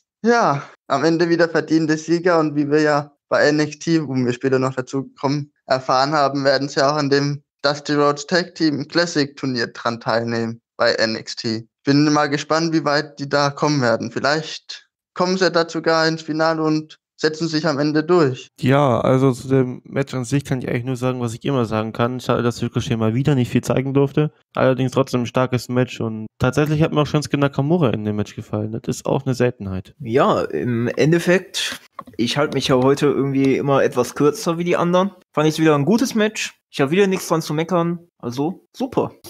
Ja, und dann kommen wir schon zum letzten Match heute Abend bei SmackDown. Und zwar, wie soll es anders sein? Ist es ja ein Match offen, ein Tag Team Match. Und zwar Kofi Kingston und Kevin Owens gewinnen gegen Daniel Bryan und Eric Rowan durch einen Pin von Kevin Owens an Daniel Bryan nach einem schönen Stunner. Ja, schöner Auftakt für Kevin Owens, der gezeigt hat, der, der beziehungsweise direkt zeigen konnte, wie er sich verändert hat, was wir am Anfang auch noch sagen können. Er hat sich verändert, auch vom Aussehen her. Er hat schwer abgenommen, Kevin Owens. Kevin Owens war ja immer so etwas korpulenter. Von daher, er ist dünner geworden, aber er hat es definitiv noch drauf. Ja, schöner Sieg von ihm und Kofi Kingston gegen Daniel Bryan Eric Rowan. Ja, nach diesem Match hat man noch gesehen, wie Kevin Owens feiert und damit hat die, die Show dann beendet worden. Ja, wie fand ihr dieses kleine, nette letzte Tag Team Match für SmackDown? Also, ich weiß jetzt zwar nicht, wie lange dieses Match ging, aber ich denke mal schon so um die 15 Minuten, würde ich sagen. Schönes Match. Man hat endlich mal wieder, würde ich sagen, einen guten Kevin Owens im Ring gesehen, der auch mal was zeigen durfte und nicht irgendwie schnell weggehauen wurde, wie gegen Baron Corbin, äh, gegen Braun Strowman oder sonst was. Was mich allerdings auch mal überrascht hat, man hat ja normalerweise die Pop-Up Powerbomb. Diesmal war es aber eine Pop-Out Sit-Out Powerbomb. Also auch mal was Neues. Finde ich, hat auch einen stärkeren Impact und ich hoffe, das zeigt man mehr und öfter. Schade, dass deine Beine ausgekickt hätte, beziehungsweise hat. Daraus hätte man echt einen starken Finisher machen können, aus dem niemand rauskommt oder so. Und dass am Ende dann der Stunner zum Matchende führt, hätte ich auch nicht gedacht. Auch wenn man in der Vergangenheit schon sehr viele Stunner von Kevin Owens gesehen hat. Schönes Match und bin ich auch gespannt, wie es da weitergeht. Gerade mit Kofi Kingston, der nicht so begeistert davon schien und auch im Match schon das alles auch gezeigt hat. Mal auf die ganzen Take Team Matches zu sprechen zu kommen. Man könnte meinen, Teddy Long war da am Werk mit den ganzen Tag Team Booken und so. Spaß beiseite. So, kommen wir mal zum Match. Ich fand's auch richtig gut. Mit dem Stunner am Ende habe ich jetzt auch nicht wirklich gerechnet. Dann die etwas andere Pop-Up Powerbomb war schon nice, ja. Kofi hatte, glaube ich, nicht so viel Matchzeit in diesem Match gehabt, was halt sehr schade ist, aber so baut man halt auch eben Kevin Owens für das Titelmatch bei Fastlane etwas auf. Ich weiß nicht, ob Daniel Bryan gepinnt wurde, aber wenn er Daniel Bryan gepinnt hat, so baut man ihn richtig stark auf gegen das Match Daniel Bryan bei Fastlane. Ja, ich fand's wieder ein schönes Match. Ja, die ähm, Pop-Up Sit-Out Powerbomb finde ich wäre vielleicht ein guter Signature. Ein Stunner kann ich immer noch ähm, ernst nehmen als Finisher. Hätte ich also nichts gegen, wenn man so machen würde. Dass jetzt die normale Pop-Up Powerbomb hoffentlich weg ist, finde ich ähm, gut, weil die, das war mir immer so ein bisschen zu wenig Impact. Als Sit-Out-Variante finde ich die wesentlich besser. Also mal sehen, was da kommt. Ja, du hast Kevin Owens jetzt hier stark dastehen lassen hat sehr viele Aktionen gezeigt. Also ich bin zufrieden. Denk mal, die Sit-Out Powerbomb da ist jetzt auch etwas besser wegen der Körpermasse her. Finde ich jetzt auch besser, dass sie da so eine Sit-Out Pop-Up Powerbomb draus gemacht haben, statt die normale Pop-Up Powerbomb. Ja, ich mache mich wieder zum Mecker, Hannes. Irgendwie ist das schlimm. Ich mache mich, hab mich auch schon in den Sendungen zum Mecker Hannes gemacht. Das habe ich bei NXT auch. Das werden wir, da werden wir gleich zukommen. Aber das Match an sich war wirklich ein gutes Match. Das vorweg. Und mir hat der tatsächlich neue Kevin Owens echt gut gefallen. Das Problem ist mal wieder, also mein persönliches Problem ist mal wieder die WWE-Logik. Haha, denn es gab keine. Was sollte dieses Match? Dieses Match war Bullshit-Booking auf höchstem Niveau. Weil, wenn ich Kofi Kingston gewesen wäre, hätte ich wahrscheinlich eher Kevin auf die Fresse geboxt, als irgendwem anders, nachdem er mir gerade meinen Titelmatch weggenommen hat mehr oder weniger gezwungen, das weiß ich. Aber ich meine, das war vielleicht eine Stunde her. Ich hätte wahrscheinlich einen Hals von hier bis Genua und trete dann doch nicht mit dem in einem Tag Team Match an. Was soll der Scheiß? Ja, und damit beenden wir dann auch SmackDown und den zur letzten Show, der wir uns diese Woche widmen. Und zwar NXT. Ja, sie begann damit, dass die Kommentatoren Mauro Ranello, Percy Watson und Nigel McGuinness in der Full Sail University dieses Publikum für diese Show begrüßten. Ja, Johnny Gargano machte sich dann auf den Witz im Ring und erklärte, dass einige interessante Wochen hinter ihm, ihm liegen, denn er ist ja eines der neuesten Mitglieder von Monday Night Raw und SmackDown Live. Ja, musste dann zuletzt durch eine, durch eine Niederlage gegen The Velveteen Dream einstecken und auch, glaube ich, seinen Titel verlieren, glaube ich, kann das sein. Auf jeden Fall nach dem Gewinn, äh, nee, Quatsch, nach dem Gewinn den North American Championship erklärte er noch, dass Johnny Wrestling zurück sei und er war auch zurück. Er war jetzt an der Spitze angekommen. Er war Johnny Champion. Genau, er hat doch den Titel verloren. Doch bei seinem ersten Test versagte er. Zwar fühlt er sich nach wie vor wie ein Champion, doch die Realität sieht anders aus. Nun hat er aber realisiert, dass der einzige wahre Grund, warum er jetzt wieder, Champ wieder Erfolg hätte, dass der einzige Grund war, also dass das der einzige Grund war, warum er Champion wieder Erfolg hatte. Ja, er wurde aber dann unterbrochen durch Tommaso Jumper, der ja NXT Champion war. Und nach einer kurzen Unterredung dieses Jahr, dass die beiden ja beim Monday Night Raw aufgetreten sind und, und gemeinsam auch bei SmackDown Live waren. Ja, er meinte dann auf jeden Fall zu Gareno, dass nach anderthalb Jahren Gareno verstehen, dann verstanden haben müsste, dass sie einander brauchten und im Ende zum Schluss ähm, hielt Gareno, ach Quatsch, die Jumper Gareno die Hand hin und Gareno schlug ein was wirklich die äh, Rückkehr der DIY besiegelte. Ja, das erste Match des Abends war ein Tag Team Match. Ist ja nicht so, dass wir die Woche schon genug Tag Team Matches hatten. Nein, der NXT stand, äh, startet auch mit einem Tag Team Match. Und zwar der Frauen. Äh, ich hoffe, ich spreche den Namen richtig aus. Elia und Vanessa Bourne gewannen gegen Tamara Conti und Xia Lee durch Pin und Xia Lee durch Vanessa Bourne nach einem Neckbreaker durch Elia. Ja, danach sehen wir, wie der Velveteen Dream kam, die Undisputed Era auftritt und Adam Cole erklärte, dass der Velveteen Dream schon bald mit ihm Erfahrung machen werde und seinen Titel verlieren wird. Ja, Leute, was haltet ihr davon? Also mal ganz kurz, du bist jetzt schon ziemlich weit vorgesprungen in was eigentlich zu einem Segment nicht gehört, aber naja, egal. Zur Promo von Johnny Gargano und Tommaso Ciampa, auch wenn's, denke ich, vorhersehbar war, weil ich es mal wieder irgendwie vorhergesagt habe, war die Promo gut. Man hat echt gemerkt, beide können besser, Mike, beide passen eigentlich auch ziemlich gut zusammen. Und ich hätte wirklich nichts gegen die DIY Reunion und die kommt da jetzt auch. Deswegen bin ich auch gespannt, was da alles passiert. Ich habe schon, ich habe schon so meine Theorie, aber da kommen wir dann später zu, wenn es dann soweit ist vielleicht. Und ja, das Match ähm, von Alaya und Vanessa Bourne gegen Tanara Conti und Xia Lee hat mir tatsächlich nur eine Person in dem Match gefallen und das war Tanara Conti. Alaya, die mächtigen Kamala, sage ich so schön, gefällt mir irgendwie gar nicht im Ring. Genauso wie Vanessa Bourne und Xia Lee hat mir irgendwie viel zu wenig gezeigt. Das Match an sich fand ich auch nicht so stark, war aber für mich trotzdem ein solider Opener und kann man so machen. Und dann noch die Promo von David Dream und der Undisputed Era. Ziemlich interessant. Da bin ich auch gespannt, wie es da weitergeht. Ich hoffe natürlich auf ein Match bei ähm, Takeover, aber das sehen wir dann in der Zukunft. Ja, die Promo von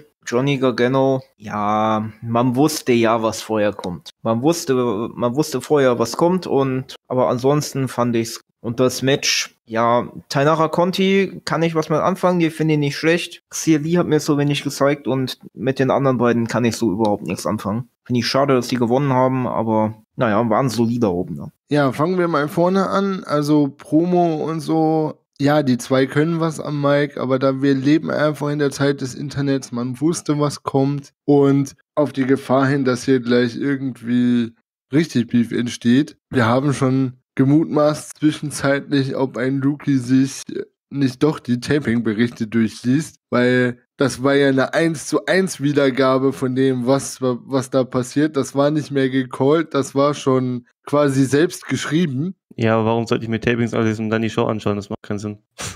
aber es passt halt, weil es wirklich 1 zu 1 war. Ähm, kurz zu der Geschichte, ich habe NXT nebenbei so geguckt und Michi sagte immer wieder, irgendwie sagt Daniel heute gar nichts. Und dann habe ich einfach gesagt, was ich gedacht habe, nämlich ich habe auch bis jetzt noch nichts Interessantes gesehen. Was aber, und das muss ich vielleicht dazu sagen, ist vielleicht auch am Mittwoch ein bisschen untergegangen. Das hat echt zu Streit geführt hier im Discord. Aber es ist ein bisschen untergegangen, glaube ich. Ich mache den beiden keinen Vorwurf. Die machen ihren Job, die machen einen guten Job, aber man wusste halt, was kommt.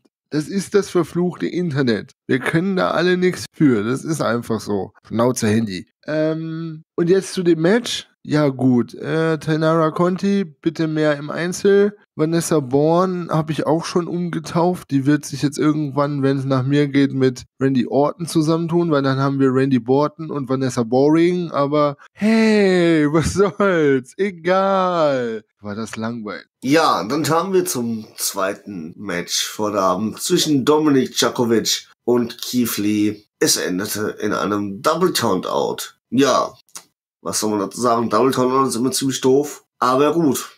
Nein, So war er in dem. Fall nicht. Okay, dann übergebe ich das Wort und nicht weiter. In dem Fall war der einfach perfekt. Da wird mir, da werden mir Luki, Malu und Michi zustimmen. In dem Fall war der einfach perfekt. Denn jetzt hat man, ich glaube, heute Mittag oder gestern hat der Malu dann nämlich erzählt, wie das jetzt weitergeht. Denn ein Lee hat jetzt ganz offiziell nochmal eine Herausforderung ausgesprochen. Und wir beten alle, dass was da draus wird bei NXT vor WrestleMania.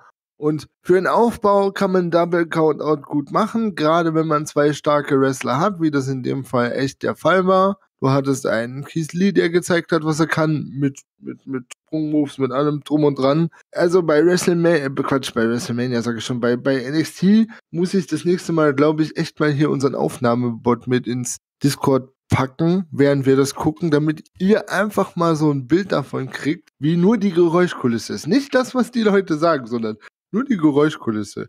Muss ich zwischendurch mal reinschneiden oder so. Das ist absolut der Hammer, was die zwei da abgerissen haben. Und durch den Double Countout sind beide jetzt nicht schwach dargestellt. Ich freue mich auf NXT. Äh, Takeover, bitte mehr. Ja, Dominik Dajakovic und Keith Lee. Zwei große Männer. Und ich habe die schon gegeneinander im Ring gesehen, wo sie noch nicht bei WWE waren. Und da war ich schon so begeistert. Und da habe ich schon gesagt, Big Men can fly. Also große Männer können fliegen. Und genau das haben sie jetzt auch wieder gezeigt. Dominik Dajakovic, ähm, egal aus welcher, Pos- egal ob es ein Hip Toss war oder was Lee alles versucht hat, irgendwie ist er immer auf die Füße gelandet. Mega. Und dann versucht dieser zwei Meter große Dominik Dajakovic einen Monkey Flip. Als wenn das nicht schon verrückt genug wäre, landet Keith Lee den Monkey Flip auf den Füßen. Und ja, es war alle, wie geht das? Aber ja, die beiden, die sind halt verrückt. Und dann dieser Springboard Moonsault nach draußen. Oh, also alles in allem super Match. Ich bete wirklich, dass es bei Takeover zum Rematch von denen gibt und dann lass denen 15 bis 20 Minuten Zeit und du hast ein 5-Sterne-Match. Ende. Also auch ich war von dem Match echt ziemlich begeistert. Man hat endlich mal auch bei NXT ein richtig starkes Match gesehen, was du eigentlich bei Takeover bringen könntest. Das hat man zwar jede Woche, hat man das zwar schon, aber das hat echt Takeover-Kaliber gehabt. Und deswegen freue ich mich umso mehr, dass ich nach dem, nach der, nach der Show noch ein Interview von Lee gesehen habe, wo er meinte, ja, er möchte noch ein Match gegen Dominik Dajakovic, weil die Fans das wollen, weil er das will, weil Dominik Dajakovic das will und weil das marketingtechnisch eine sehr gute Idee wäre und was weiß ich. Deswegen freue ich mich umso mehr jetzt auf Takeover und bin echt gespannt, denn ich habe schon während NXT gesagt, dieses Match könnte ein 5-Sterne-Match werden und dabei bleibe ich auch und das wird es auch sein. Da lege ich meine Hand für Feuer. Ja gut, dann gehen wir mal weiter. Und zwar wurde danach ähm, die vier weitere, vier weitere Teams oder noch die vier weiteren Teams für das Dusty Rhodes Classic Tag Team vorgestellt. Und zwar sind es die Mustache Mountains, Trent Seven und Tyler Bate, Orla Locken und Danny Birch, Ricochet und Alistair Black und zu guter Letzt auch DIY, sprich Tommaso Ciampa und Johnny Gargano. Diese vier nehmen an dem Turnier teil. In der ersten Runde kommt es dabei zu folgenden Matches. Mustache Mountain gegen die Street Profits, also Trent Seven und Tyler Bate gegen Angelo Dawkins und Montes Ford. Danach noch Orla Locken, Danny Birch gegen The Forgotten Sons, Wesley Blake und Steve Cutler. DIY, Tommaso Ciampa, Johnny Gargano gegen die Undisputed Era, Bobby Fish, Kyle O'Reilly, Alistair Black und Ricochet gegen die European Union, Fabio Acher, wahrscheinlich falsch ausgesprochen, aber es ist mir relativ egal, ich kenne den Mann nicht, ich kenne den Namen nicht, tut mir leid. Und gegen Marcel Bartel. Ja, ich denke mal, Marcel Bartel dürfte Malu wieder was zu sagen haben. Der schwärmt nämlich ziemlich von dem guten Mann. Ja, außerdem wurde für die Raw-Ausgabe in zwei Wochen ein ähm, Match um den NXT Women's Title Number One Contender Match zwischen Bianca Belair und Io Shirai angekündigt. Ja, was haben wir sonst zu sagen? Hören wir erst mal, was ihr dazu zu sagen habt und dann schauen wir mal, was bei NXT noch so geschehen ist. Ja, sind viele großartige Matches, die jetzt da kommen werden im Dusty Rhodes Tag Team Classic. Kann ich mich nur freuen. Und European, äh, European Union, Fabian Eigner und Marcel Bartel, das sind einfach zwei großartige Wrestler. Marcel Bartel hier in Deutschland sehr viel unterwegs gewesen unter dem Namen Axel Dieter Junior und ich freue mich, dass ich ihn schon mal live gesehen habe, dass ich ihn nächste Woche nochmal live sehen werde. Es wird einfach ein Fest und ich, ich freue mich jedes Mal, den bei NXT zu sehen, da er das wirklich verdient hat. Ja, sonst niemand was dazu sagen von euch? Alle verstummt, alle wünschlos glücklich fürs Moment? Ja, ich denke schon. So ungewohnt von euch. Aber gut, dann machen wir weiter. Und zwar hatten wir noch ein kleines Segment gehabt, wo ehemalige NXT-Superstars dann kamen. Und zwar Sasha Banks und Bailey, die ja die aktuellen und ersten WWE Women's Tag Team Champions sind, kamen in den Ring bei NXT und erklärten, wie wunder großartig es für sie sei, mal wieder bei NXT zu sein, weil ihre Reise bei NXT begonnen hat. Und das letzte Mal, als die beiden gemeinsam im Ring standen, haben sie das erste Women's Ironman Match in der Geschichte der WWE gegeneinander bestritten. Ja, damals gegeneinander, heute rennen sie miteinander. Ja, und nun beginnt für sie die beiden eine neue Reise, denn sie werden ihre Tag Team Championship ähm, überall auf der Welt verteidigen, indem sie ihr halt die Ehre erweisen. Das heißt nicht nur Raw, nicht nur bei SmackDown, sondern bei NXT.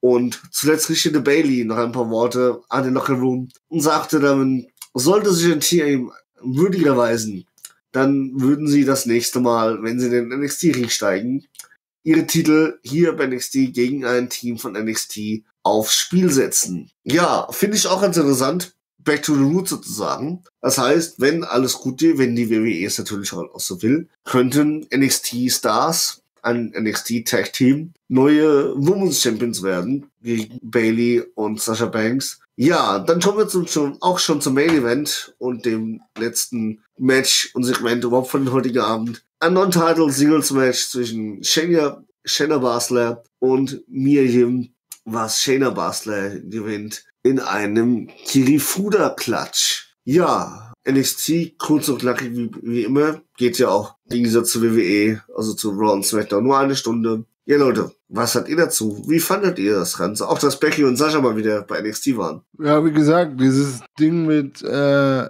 Bailey und Sascha Banks war super überraschend, dass es an dem Tag war. Es war bekannt, dass die das überall verteidigen, aber es war noch nicht klar, dass sie tatsächlich in der Folge auftreten. Auch das hat hier zu hitzigsten Diskussionen geführt. Und ähm, ja, an, das Problem, was die WWE da hat, ist, glaube ich, einfach, dass ihnen noch die Gegneranzahl fehlt. Und jo, deswegen geht man einfach in alle Roster, die man so hat. Habe ich jetzt nichts gegen wenn man es einigermaßen fair verteilt. Mal gucken, wie es weitergeht. Zum Match. Mia äh, Yam Yam gegen Shayna Baszler ähm, hätte man bitte einfach gegen Mia Yam Yam gegen irgendwen austauschen können, aber bitte nicht Shayna Baszler, weil theoretisch könnte man die einfach aus, aus dem Roster streichen, weil äh, ich weiß, ich mache mir Feinde bei einem Herrn Tilotto, sagen wir immer so schön, aber er weiß, wer gemeint ist, weil er findet die ganz, ganz toll. Keiner von uns weiß wieso. Ja, Luki, Malu, Michi, keiner was zu sagen? Also ich muss sagen, ich fand das Match zwischen Shayna Baszler und Mia Yim jetzt nicht langweilig. Ich fand, Mia Yim hat schon echt gut gearbeitet und was mich halt ein bisschen an dem Match gestört hat, war halt wirklich Shayna Baszler, weil die ist halt wirklich nur auf ihren Fuß gegangen und das ging mir auf Dauer ziemlich auf die Nerven und ja, deswegen habe ich nicht wirklich viel zu dem Match zu sagen. Nun, was wäre denn jetzt? Becky und Sascha haben ja angekündigt, sie würden ihren Titel auch bei NXT verteidigen. Was wäre denn, wenn sie jetzt bei Fastlane ihren Titel gegen Sascha Banks und Termine verlieren würden? Dann könnten sie das, was sie ja vorhaben, gar nicht mehr wahr machen. Finde ich sehr schade. Deswegen verlieren sie den Titel auch nicht. Das habe ich mir auch gedacht, dass das die WWE nicht zulassen wird. Aber könnte ja sein. Wird zwar nicht passieren, aber Spekulationen, Vermutungen kann man ja immer mal äußern. Ja, vor allen Dingen ist es ja einfach so, es würde im Prinzip nichts ändern außer den Titelträger, denn es ist ja eine festgesetzte Regel. Da können sich auch, naja, Jax und Tamina nicht drüber hinwegsetzen. Deswegen hat man das ja jetzt öffentlich gemacht, dass es auch ja jeder weiß, dass es überall ähm, ja, was hat mein Handy denn heute? Ähm, dass es überall verteidigt wird und äh, ja, wie gesagt, auch jedes andere Team muss das so machen. Also da muss man sich, denke ich, keine Sorgen drum machen. Ich würde aber auch tatsächlich mal interessieren, was mit den anderen Herrschaften da unten los ist. Alles gut. Ja, gerade du, Mann, du bist halt so ruhig, so still. Ich kenne ja von dir. Kann mir doch, ich kann mir irgendwie nicht erklären, dass ihr wunschlos und sprachlos seid. So gut war NXT, besonders das Frauenmatch. Ja, Mann. Ich habe aber bei NXT wenig zu meckern und Das ist ich kann ja nicht dir. auch, ich kann ja auch nicht jedes Mal die ganze Zeit nur rummeckern. Memo, das ist ein Podcast, keine Meckerbox. genau. Und wenn es nichts zu meckern gibt, sag was Gutes. Ja, ähm, kein schlechtes Match. Mir, mir Jim verliert leider. Ähm, ansonsten kann ich da wenig zu sagen, weil das Match ja auch nicht äh, so lange ging. Ja gut, dann würde ich sagen, beenden wir das Ganze für heute. Ich hoffe, ihr hattet Spaß, habt euch sehr gut informiert gefühlt. Wenn ja, hört bitte weiterhin rein. Lasst gerne Likes da, wo ihr Likes da haben könnt. Diskutiert mit uns in den Kommentaren, wo es geht. Und ich wünsche euch jetzt noch einen wunderschönen Abend. Wir hören uns dann nächste Woche wieder, wenn wir über die nächste Woche reden. Und ja, auf Wiedersehen von meiner Seite aus schon mal. Ja, auch von meiner Seite aus. Ich hoffe, es hat euch wieder mal gefallen. Tschö. Ich schließe mich da nur an und sag auch von meiner Seite aus Ciao. Ja, auch von meiner Seite aus. Ich hoffe, ihr hattet Spaß. Was aber vielleicht ganz interessant wäre, tatsächlich für uns auch. Ihr habt gemerkt, wir haben versucht, das Tempo ein bisschen anzuziehen. Ist vielleicht noch nicht an jeder Stelle so gut geglückt, wie es hätte sein können. Aber wir haben halt auch gemerkt, die Podcasts sind unter Umständen sehr, sehr lang und haben gesagt, okay, dann fassen wir halt ein bisschen mehr zusammen. Und ihr könntet ja mal Feedback da, da lassen, wie euch das so gef gefällt, mit dem Hintergrund bitte, dass wir auch das noch verbessern können und werden. Aber es wäre halt mal ganz interessant für uns, ob ihr dann doch lieber eine halbe Stunde mehr Gelaber von uns ertragen wollt oder eben diese etwas gezo- angezogene Variante. Einfach mal in sämtliche Kommentarsektionen ballern, die ihr so findet. Und ja, wenn es euch gefallen hat, wie gesagt, lasst ein Abo da, lasst irgendwie Aufmerksamkeit da, teilt die Podcast-Seite weiter, teilt das Video weiter. Und ansonsten würde ich sagen, hören wir uns nächste Woche Sonntag wieder. Versprochen. Macht es gut. Tschüssi. Ja, auch von meiner Seite. Ich hoffe, es hat euch auch wieder Spaß gemacht, den Podcast zu hören. Und dann hört man sich nächste Woche Sonntag wieder. Tschüssi.